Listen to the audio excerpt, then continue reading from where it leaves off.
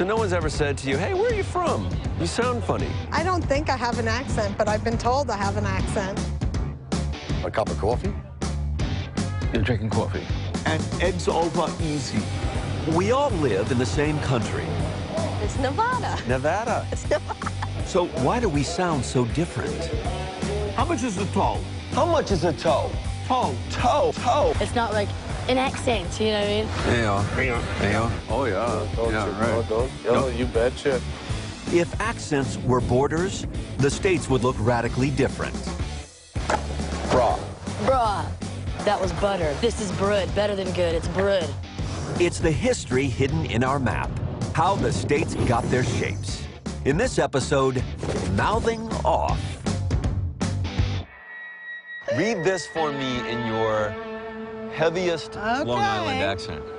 Oh, the Gettysburg Address. Yes. The guy behind you, he up, not, uh, way up there. Okay, He- yeah. He's the one who read it. So you got to really, really give it, all give it your all. Ready? Yeah, I'm ready when you are. Four score and seven years ago, Our fathers brought forth Our fathers brought forth on this continent a new nation. A new nation a new nation, a new nation conceived in liberty. Conceived in liberty. and dedicated to the proposition that all men are created equal. all men are created equal.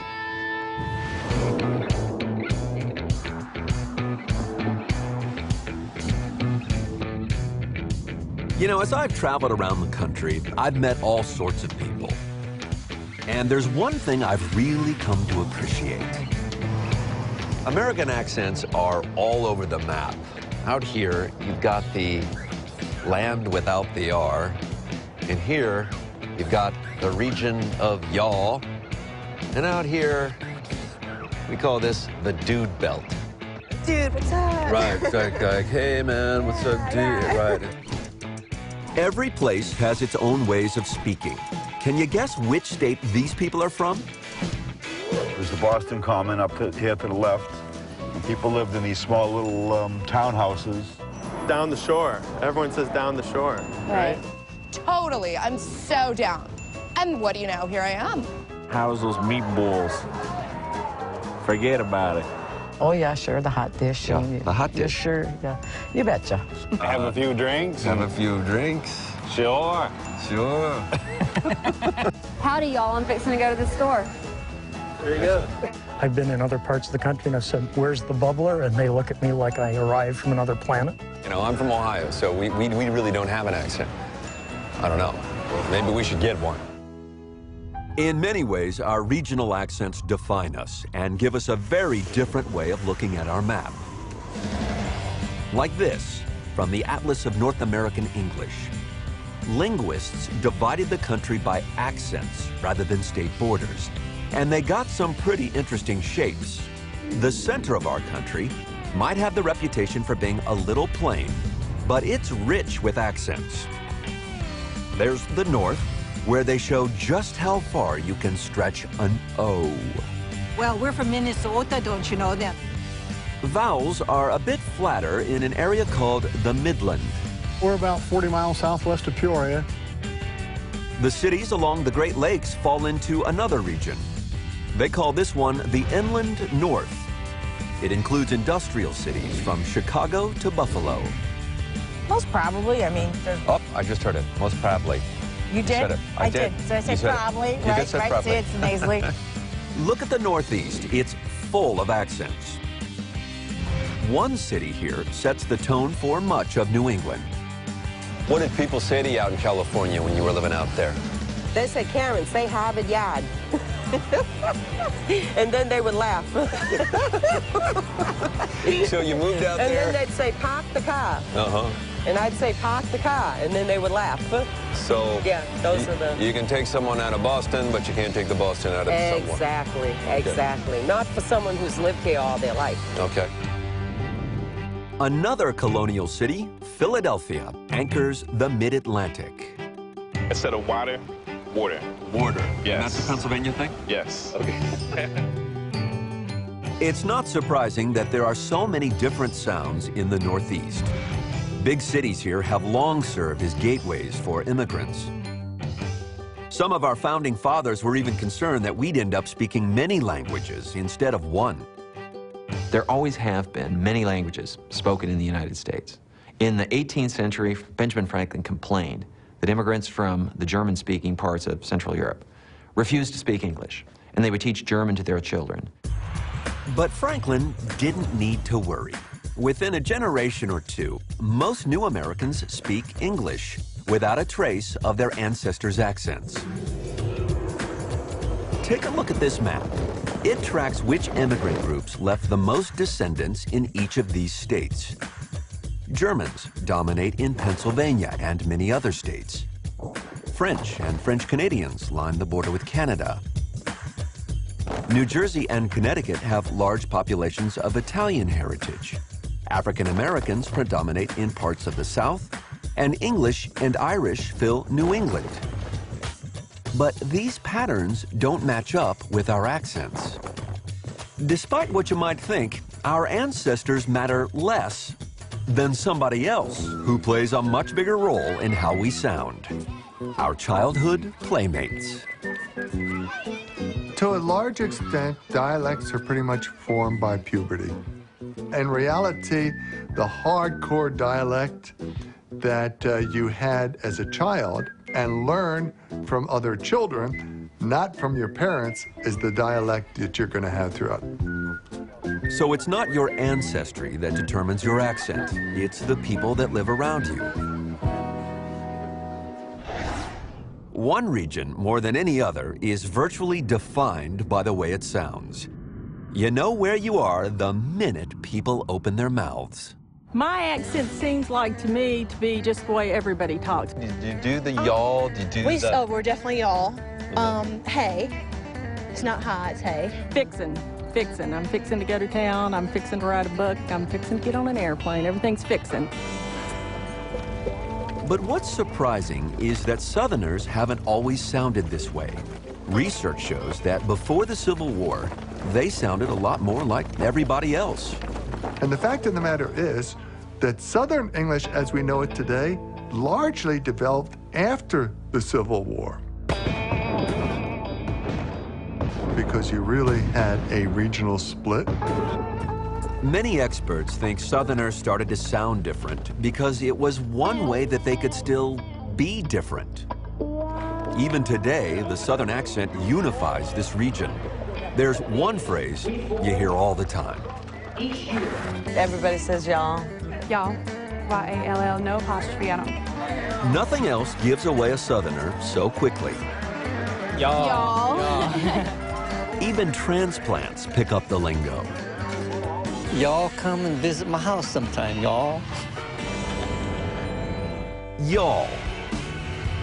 But when you really get down to it, y'all and y'all, y'all and y'all, it's not so unusual after all. Y'all. Y'all. We all say y'all in some form or another. You all? Lots of y'alls. in the north, we use yous and you guys. And in uh, parts of Appalachia, from Smoky Mountains up through uh, Pittsburgh, you say yuns, you uns, which is shortened to yuns. Yuns? Yuns. Like, yuns. Yeah. Like yun, y'all, like yuns. You all. And yuns run yuns, together. Yeah. But the South is by no means monolithic. In fact, there are a couple of areas that preserve completely different accents. In North Carolina's Outer Banks is a tiny island that can only be reached by ferry, Ocracoke. Locals here preserve a way of speaking that sounds much like their ancestors, settlers who arrived here 300 years ago. It's like a lost form of English. Hoy-toy on the sandshore, last night at waterfall, night moonshine, no fish. People call this a brogue, but it's really just a strong accent. When I was in college, I, we had a tea to go to for the, um, for the president. I, well, I wanted to earn the dress, and I went to every suite in that dorm, asking if they had an urn I could borrow. No, nobody had an urn. Nobody had an urn. Couldn't find out, everybody had one. They didn't know what I was asking for. They all had irons, but I needed an urn.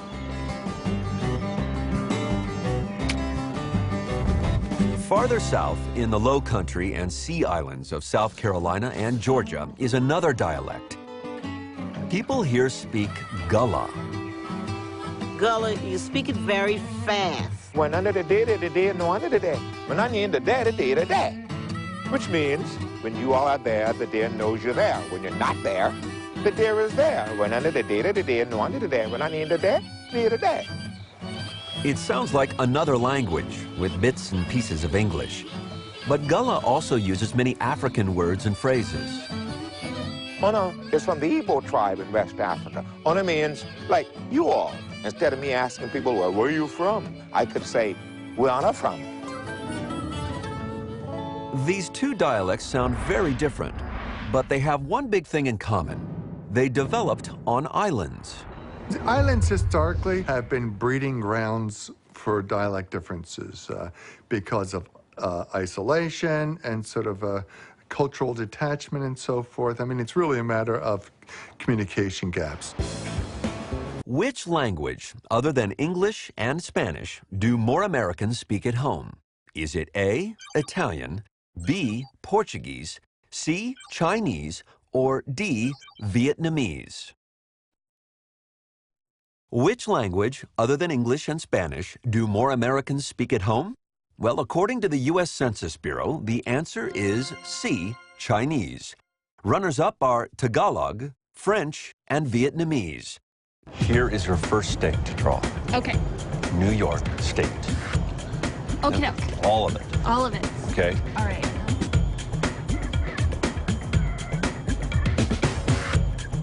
You're missing one part. What is that called? Manhattan? If this is Manhattan, then you're kind of missing a part of the Empire State is easy to overlook. It, it's got island in the name. Am I missing this? Yeah. I have no idea. Long Island. There you go. Long Island. There you okay. go. Yeah. Thanks. Okay. Good job. Long Island, a spit of land jutting out more than 100 miles from the rest of New York State. Its claim to fame?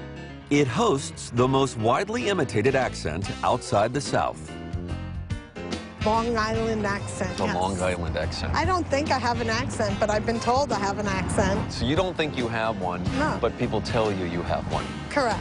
If people say you sound like you're from someplace else or Long Island, what do they say? Well, they say you sound like a real Long Islander. a Long Islander. Long Islander. Long Islander. And how do you spell Long Islander? what about the, say, um, coffee? Coffee? Coffee. We are drinking a cup of coffee. You're drinking coffee. What did you say? Coffee. Okay, coffee. Coffee. How do you spell coffee? C O F F E E. That's coffee. How do you spell coffee? Oh, what? C O U G H F? Okay, so where did this accent come from? Well, this is not an isolated island. Brooklyn and Queens are New York City's most populous boroughs. But it turns out for the first hundred years of our nation, they weren't connected to the rest of New York, city or state. It wasn't until 1883 that the Brooklyn Bridge closed that gap, connecting an island that still sounds totally distinctive today.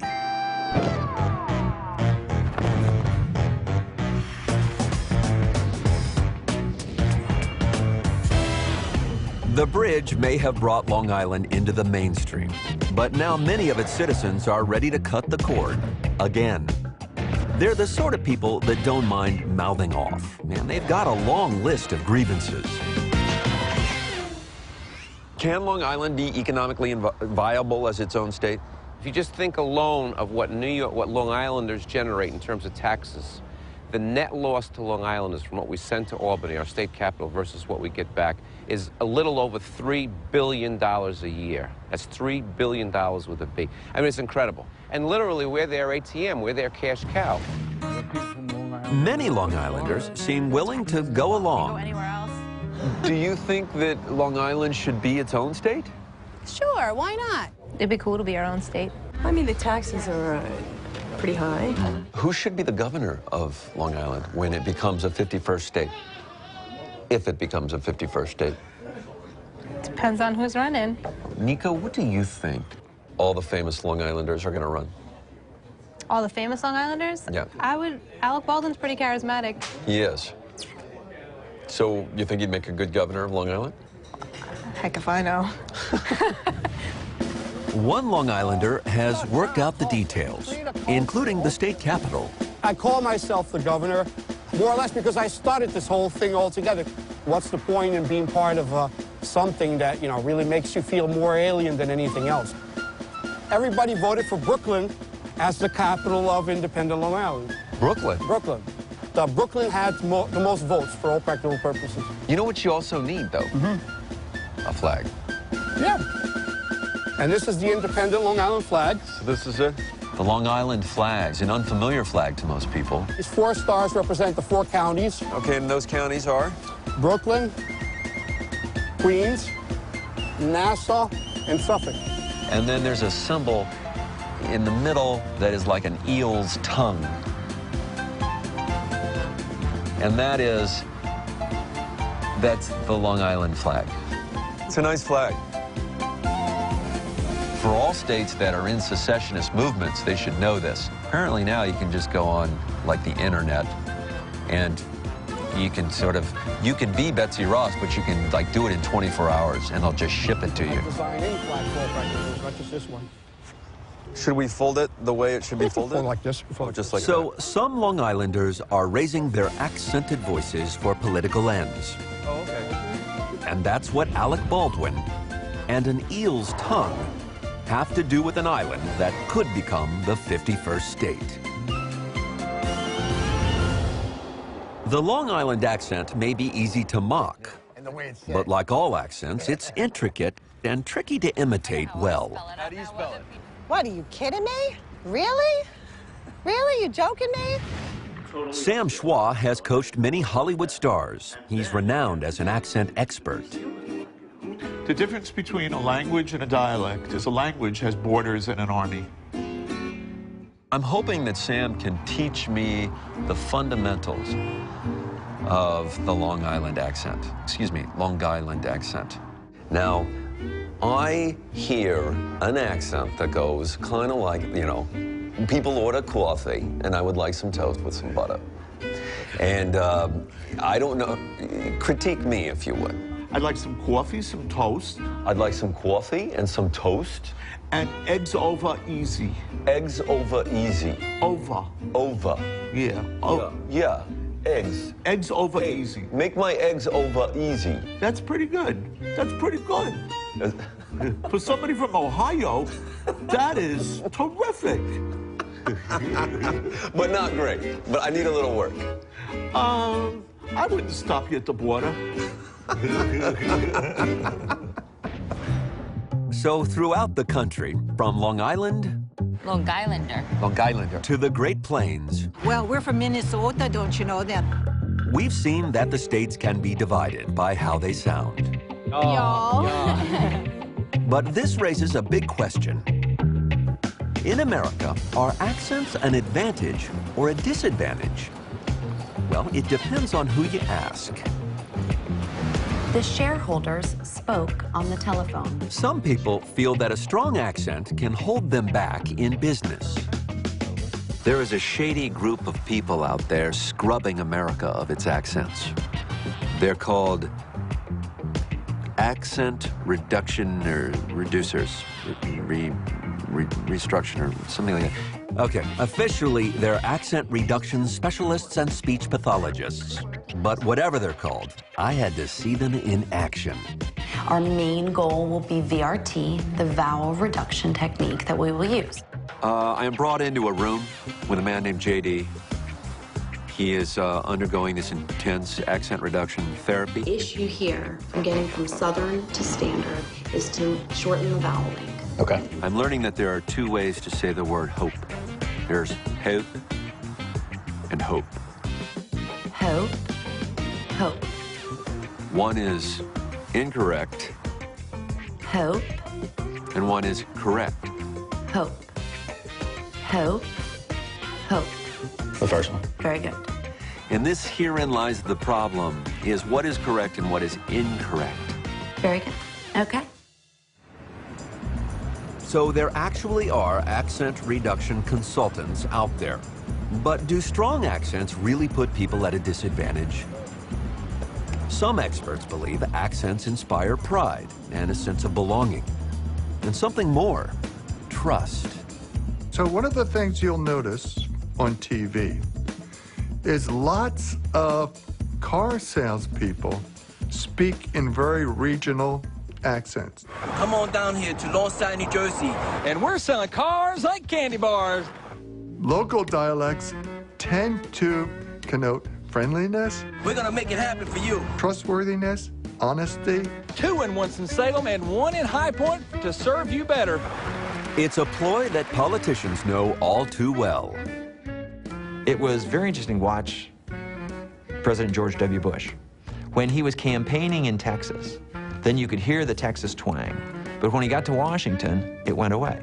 And very often people who are in those kinds of positions, particularly people in public positions, they know how to turn it on and turn it off. Our first priority must always be the security of our nation. Uh, we got some priorities that we're in the process of working together to achieve. Priority, priority, priority, priorities, priorities, priority, priorities. Again, vowel reduction technique to shorten the vowel. So while some people are trying to minimize their regional accents, others are just fine with the way they sound. Well, I'm a proud Floridian. I don't have any shame, and also I'm proud American. But I usually, because the way I talk, people immediately say, Where are you from? Are you from the South? Where are you from? It seems that for every place where an accent is in retreat, there's another getting stronger somewhere else. For example, the inland North accent region didn't exist 50 years ago. It's the result of a change in how people in cities here pronounce their vowels.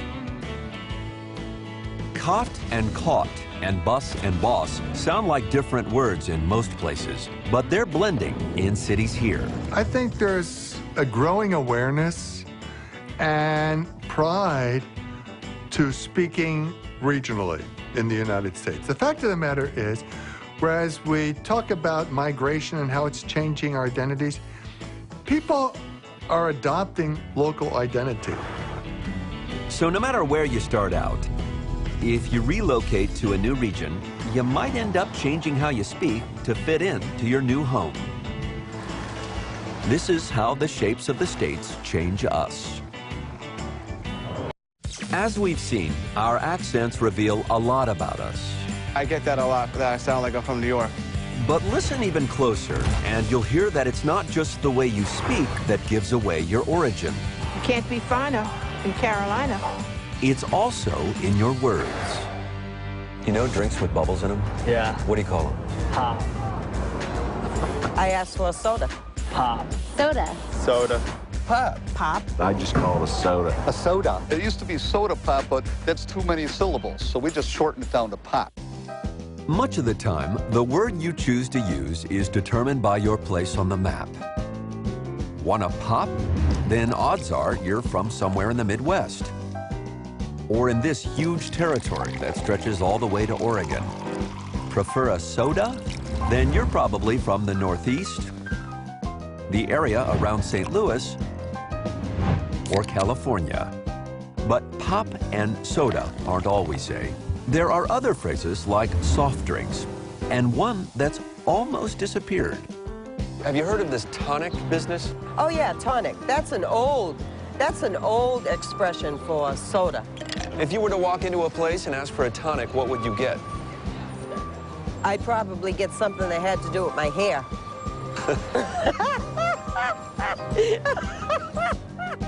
Of course, there's one part of the country that always seems to go its own way. What kind of Coke do you want? I'll take a Sprite. We asked for Coke. A Coke might be a specific brand name to you, but down south it can be any kind of soda or pop. Why? Well, it's probably no coincidence that Coke's headquarters is in Atlanta.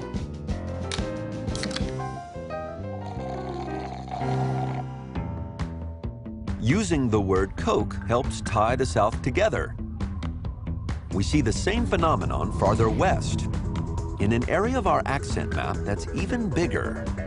We say dude. Dude. Dude. Dude. Dude. Of course, not everyone in the West says dude, but linguists consider it one accent, as it has such a consistent vocabulary and sound. Language never stays the same.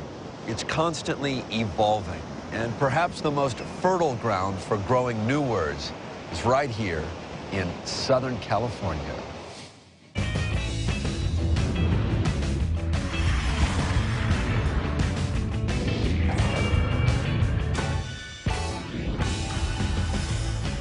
Venice, California. The quintessential California scene. A beach lined with palm trees. A crazy scene on the boardwalk. And surfers. Lots of surfers. As sports like surfing took off, spreading from Southern California into the cultural mainstream, so did the words surfers coined. really laid back. You're not in a hurry. Not trying to really push out any information on anybody. I'd get totally stoked.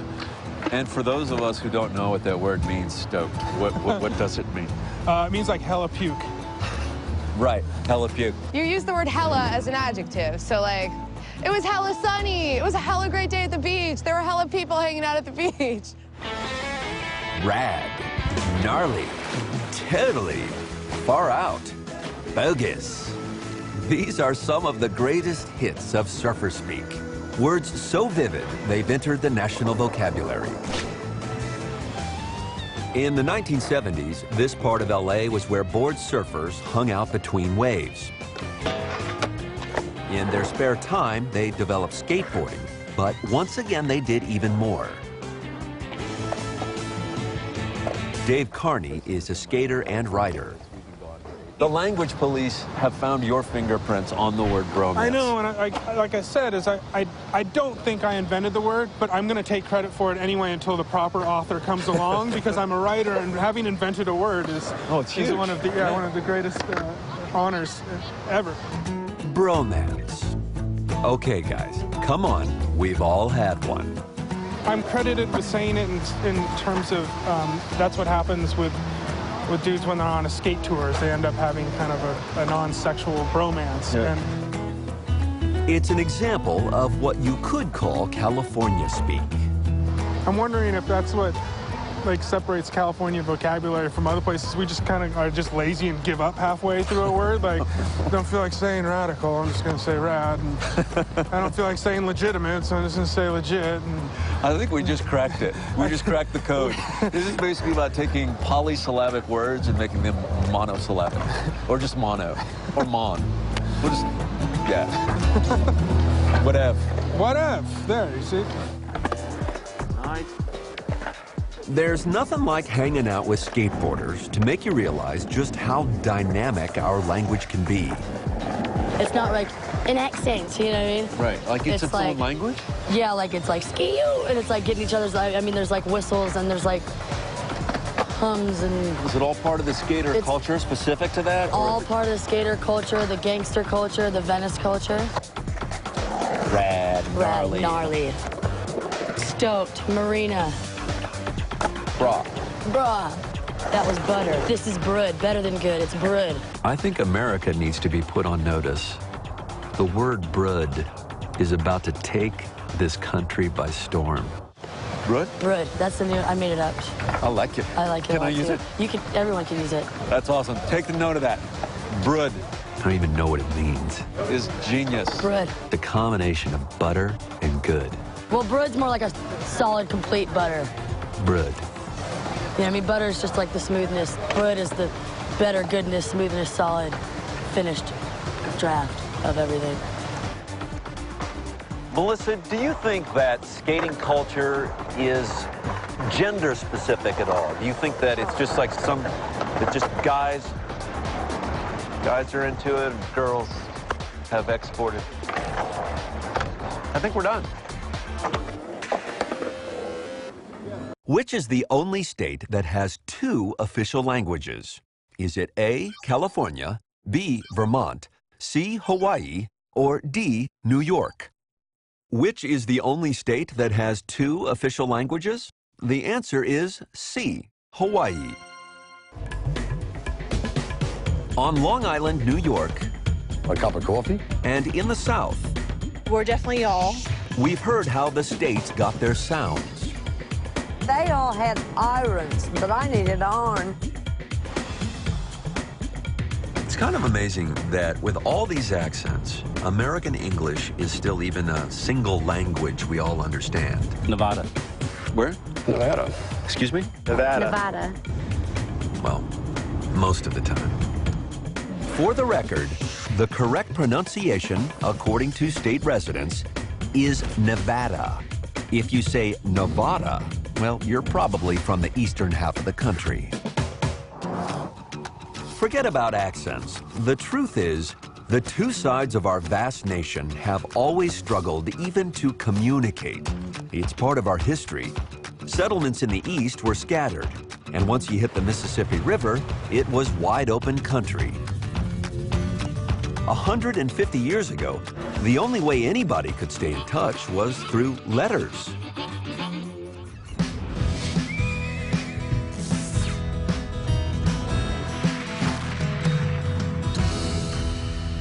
This hillside overlooks St. Joseph, Missouri. And in 1860, this was the furthest most western town. Beyond here, it was just frontier, eventually California. It was the end of the line for the telegraph and the train, so you can imagine how difficult and challenging communication was all the way to the west coast from here.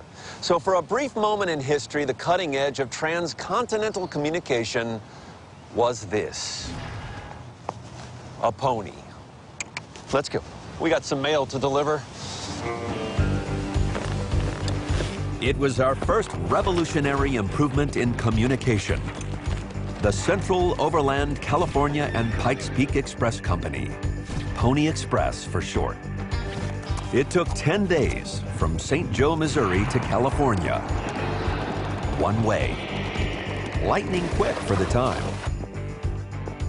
If they had to travel by ship, it would take it a minimum a month to get from San Francisco to New York because they go down the Pacific and across Panama and up through the Gulf and the Atlantic Ocean. It was efficient, but very expensive. How long did the Pony Express operate? Well, it started April 3rd, 1860, and it ended in October of 1861. Uh, the last mail. Uh, wait, wait, wait. 1861. How many months is that? That's uh, 72 weeks, uh, or uh, about 18 and a half months. So they couldn't possibly carry enough letters to generate Right. a profit. Not at $5 a half ounce, no. The Pony Express didn't change the way we speak, but big changes were right around the corner. Just two days before the Pony Express folded, a new technology was used cross-country for the first time, the telegraph. And like most innovations, it was spurred by people trying to make a buck. And if there was a new gold strike in California, that could mean millions of dollars for folks who were trading shares on the New York Stock Exchange. And the person who got the news first was going to be the one making the killing. With the telegraph, our language starts to change. If you're a telegraph owner, how do you keep a handle on the thousands of people wanting to use your new invention? Well, you charge them by the word. Individuals will, would only use this for, okay, the birth of the first baby, or grandpa died, or something like that. Enter Morse code. Clever senders invented new words and expressions, like SOS. Even today, Morse code is still evolving. Here's a new symbol, the at sign, the first edition in more than 70 years. Every innovation since has helped change the way we speak. Alexander Graham Bell may have invented the telephone, but it was Thomas Edison who first uttered the word we use to answer it. Hello. If Bell had his way, we'd be answering with ahoy. At first, telephones were few, so people's numbers were short. Phone companies used local two-letter exchanges with names like Beechwood, Klondike, and Sycamore. Butterfield 8 wasn't just a movie, it was a phone number. But the number of telephones grew exponentially, and the system got confusing. The solution, carving the U.S. into brand new shapes, area codes. We started off with fewer than 100 in 1947. Now there are nearly 300. Ever wonder why area codes for big cities seem so simple? Well, that's because they were created for rotary phones.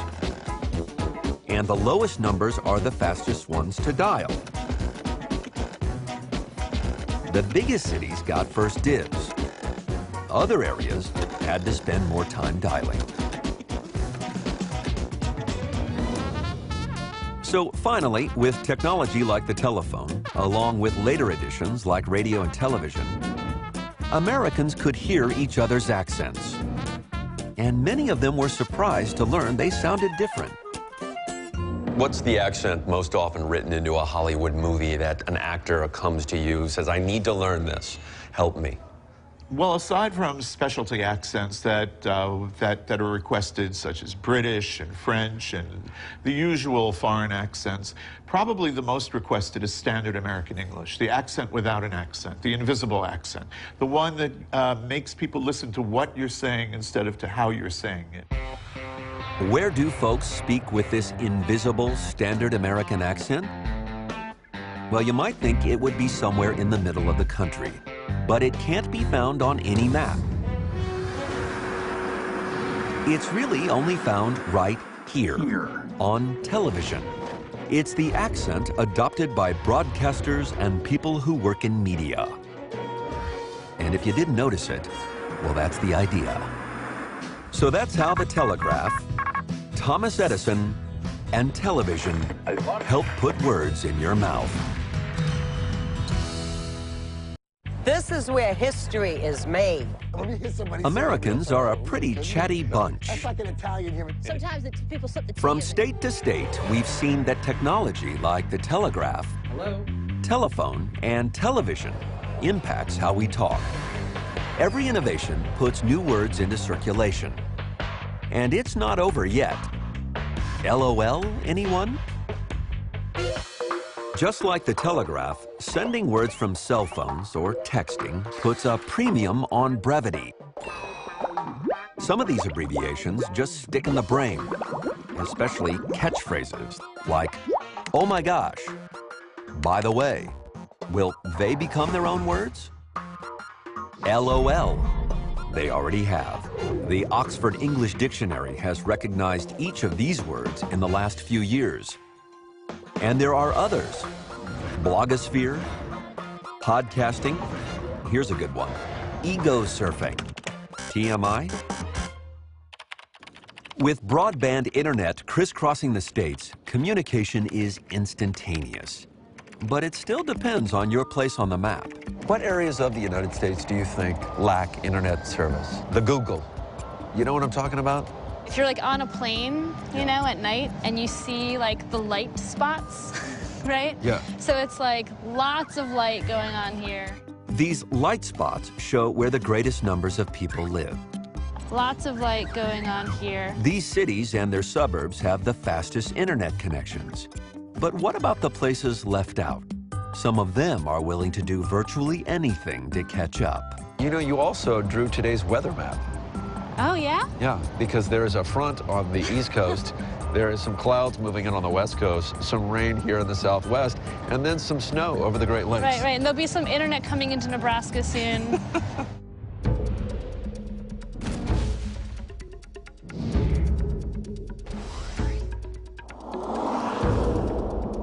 High-speed internet is kind of like the Pony Express of the 21st century. So how far would you go to get your town wired for the next generation of communications technology? In one case, the pursuit of an internet connection almost changed the map. Topeka is the capital of Kansas, the heart of the heart of the country. One of those places that most people fly over and never visit. But when internet giant Google announced a competition to install an ultra-high-speed fiber network in a city, Topeka jumped at the chance. Topekans are making it known loud and clear they want faster internet from the huge campaign. Council members formally threw their support behind efforts to bring Google's high-speed fiber experiment to the capital city. So what's the best way to get a giant internet company's attention? How about changing your name? That's right. Welcome to Google Kansas. And they say they'll announce the winning community or communities by the end of the year.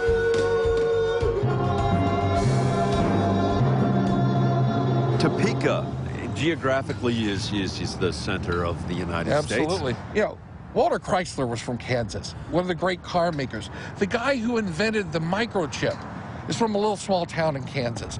I mean, there are great ideas and great energy here.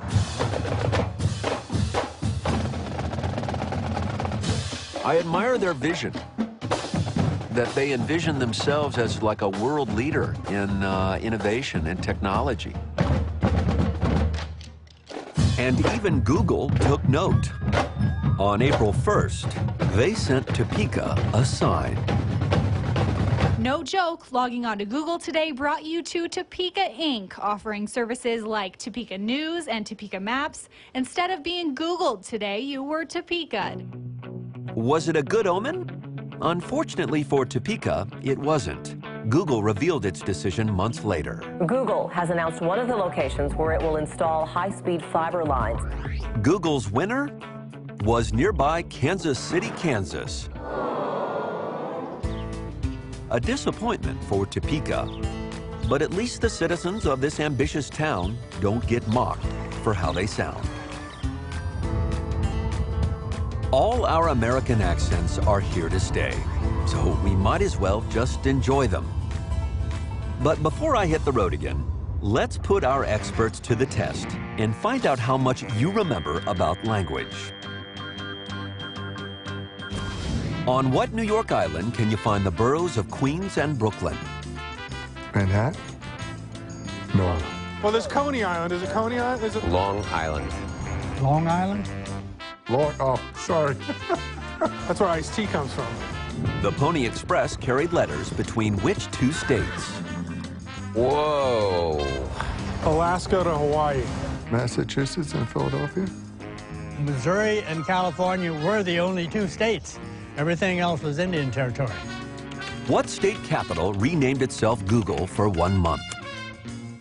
Maybe we did it. Is it Sacramento? I have no idea. I, I believe that was Kansas, Topeka. Topeka, Kansas. Really? Topeka, Kansas. Why? Kansas. Never would have guessed.